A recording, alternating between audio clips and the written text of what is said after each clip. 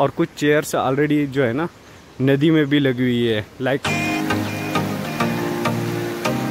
यार ये जो नज़ारे हैं ना इधर भी पहाड़ इधर भी पहाड़ और पूरा एरिया जो है ना पूरा हिल से कवर है यार।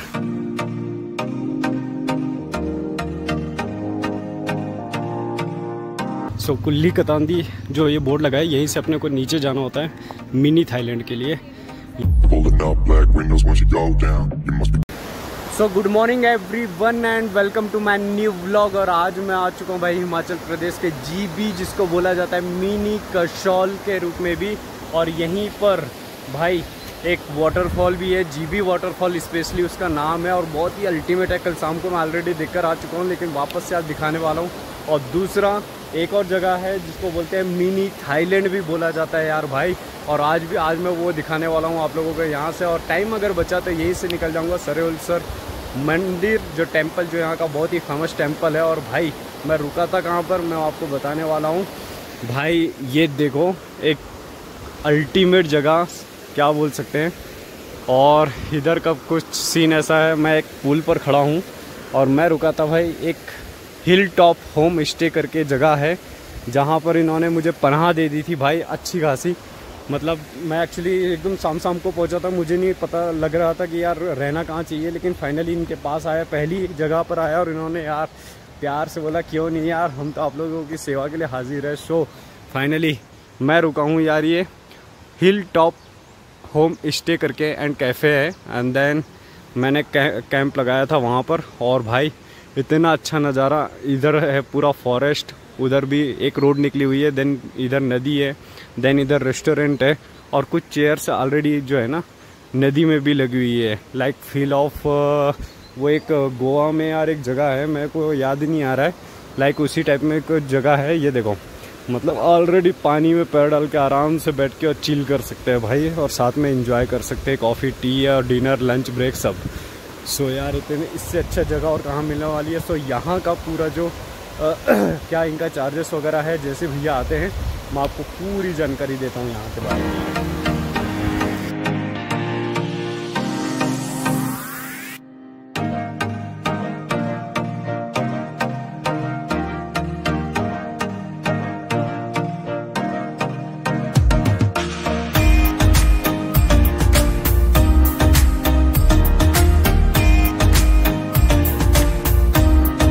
सो so, ये होम स्टे है। होम स्टे के निकलना कहाँ से है भाई?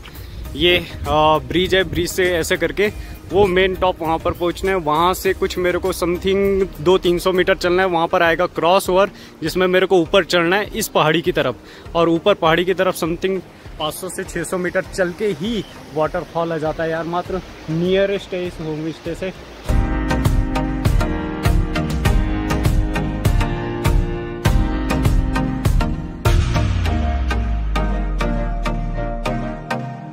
सो फाइनली पहुँच चुका हूँ भाई जीबी वाटरफॉल और जीबी वाटरफॉल के फ्रंट का कुछ नज़ारा। इस टाइप से बहुत सारे यहाँ पर रेस्टोरेंट वगैरह देखने को मिल जाएँगे। इधर से? इधर से यार। और स्टार्ट में ही एक बढ़िया सा गेट बना के रखा हुआ है अच्छा खासा। सो चलो चलते हैं अंदर यार।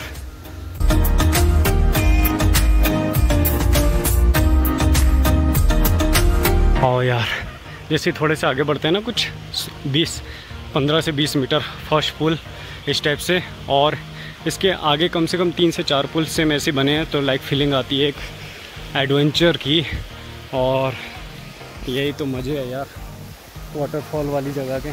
तो फाइनली और उसके बाद एक और जगह, ये वाली। कल मैं आया था ना तो यहाँ पे बहुत सारे लोग फ़ोटो खिंचवा रहे थे। Actually like this photo place लिखा भी है यार ऑलरेडी और बहुत अच्छी जगह है। मैं भी आई विल ट्राई कि कैसे करते हैं फ़ोटो क्लिक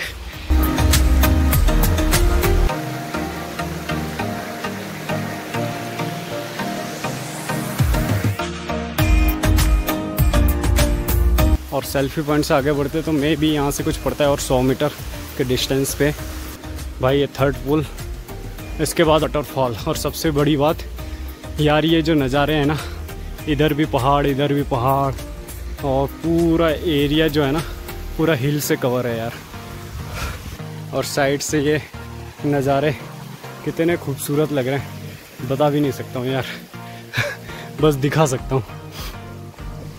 और फाइनली हमारा ये लास्ट पुल और फाइनली वो स्पॉट है वाटरफॉल वाला जो वेरी सस्पेंस लेकिन वेरी ब्यूटीफुल भी है। भाई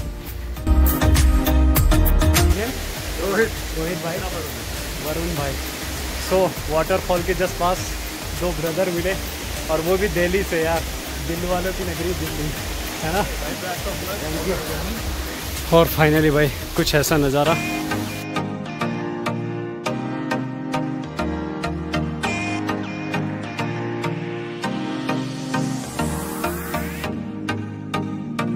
और फाइनली पहुँच चुके हैं वाटरफॉल के मेन डेस्टिनेशन पे भाई। और यहाँ से कुछ नज़ारा ऐसा बनता है और समथिंग ये होगा कुछ 40 से 50 फुट जिसका नज़ारा कुछ ऐसा है भाई, और ऑलरेडी एक अच्छा खासा टूरिस्ट प्लेस है। और नाम तो फ़ेमस ही है यार जी जी वाटरफॉल बड़ा अल्टीमेट है यार। तो चलो, यहाँ से बढ़ते अब आगे। कौन सा मिनी थाईलैंड के लिए यार?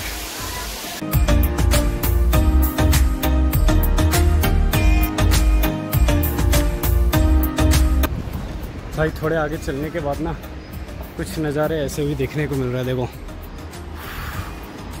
वाह यार। और अभी में भी कुछ 200 से तीन तीन चार सौ मीटर और रह गए सो भाई, कुछ पूल से अराउंड 400 से 500 मीटर वॉकिंग है डिस्टेंस और इधर से आना होता है, जैसे इधर से आते हैं तो पहला बोर्ड मिलता है कुल्ली कतांदी। सो कुल्ली कतांदी जो ये बोर्ड लगा यहीं से अपने को नीचे जाना होता है, मिनी थाईलैंड के लिए। यहाँ से कुछ ट्रैक है मे बी दो तीन सौ मीटर ऐसे कुछ रहेगा समथिंग सो so, इन जंगलों को और पेड़ों के बीच से होकर अपने को पहुँचना है भाई मिनी थाईलैंड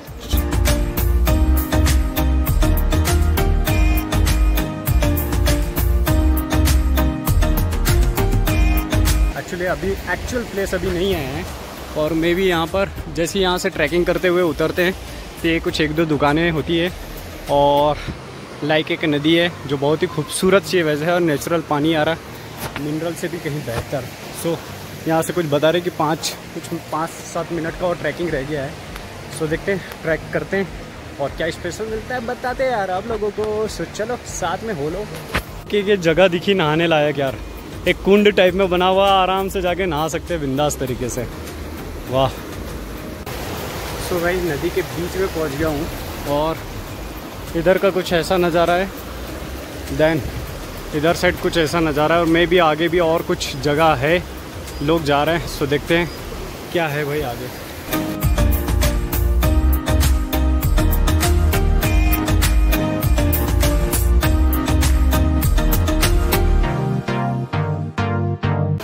सो ये है भाई वो जगह जिसके कारण मिनी थाईलैंड का थोड़ा सा फील आता है, ये दो पत्थर, जो एक इधर है, दूसरा इधर है, और उधर कुछ पानी है बढ़िया सा।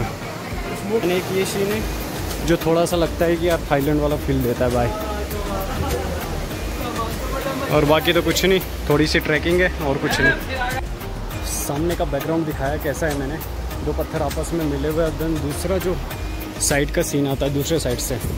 इस टाइप से कुछ ये दो पत्थर हैं, जहाँ पर वो थे। देन वो पानी वहाँ से चलते हुए आता है और इधर निकल जाता है। बट मुझे नहीं लगता मेरे लिए प्लेस है। तो निकलता हूँ मैं यहाँ से। अपने पीसफुल प्लेस के लिए यार। सो यार प्लेस तो नेचुरल है अच्छा है।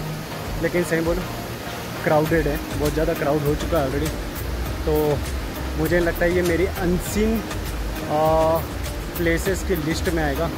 सो मैं तो नहीं डालने वाला इसको अनसिन प्लेसेस के इसमें। भाई मिनी थाईलैंड मिनी थाईलैंड है बट मेरे लिए नहीं है because of I am interested only for peaceful places और हैंड ट्रैकिंग सो चलते हैं भाई, कोई ऐसी जगह जहाँ ट्रैकिंग हो यार। फन हो, अकेले हो, शांत प्लेस हो, मज़ा आता है ऐसी जगह। सो चलो, चलते हैं यार।